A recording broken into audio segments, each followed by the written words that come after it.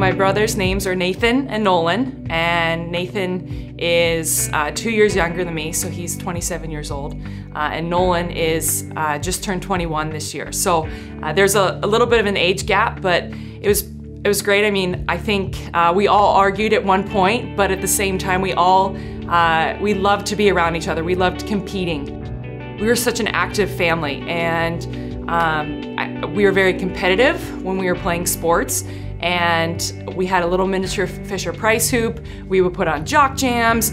We would, you know, do who could do the coolest dunk, and it's all filmed, and it's pretty awesome, you know, on these eight millimeter cassette tapes.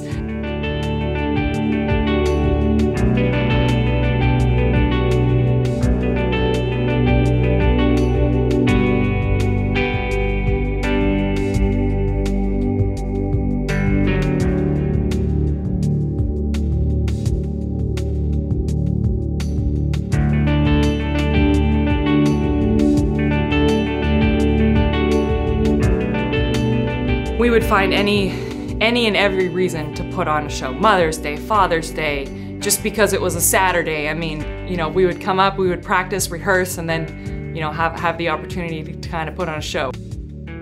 Both my brothers went on to play sports in college, and I think, I don't know if that translated, but, you know, we, we sure weren't embarrassed to, to be silly in front of our parents, so I think it helped.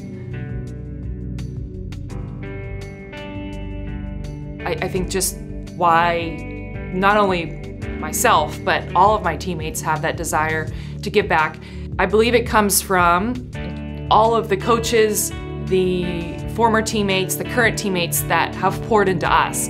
And we are so blessed to have this knowledge to work with Mike Gervais, our sports psychologist, and Karch, uh, the best player to ever have played the game. And it's amazing to have these minds pour into us and, you know, we're, we're kind of just, I don't know, bubbling over with information, with stories, with impact that, you know, you just can't help but, but share it. I think it's so important throughout this Give It Back process, whether it's the Give It Back Foundation, Classroom Champions, or, or Starlings. I think it's, it takes on this whole idea that this, this experience representing the United States of America is is so much bigger than just just us. So that's what makes it so special.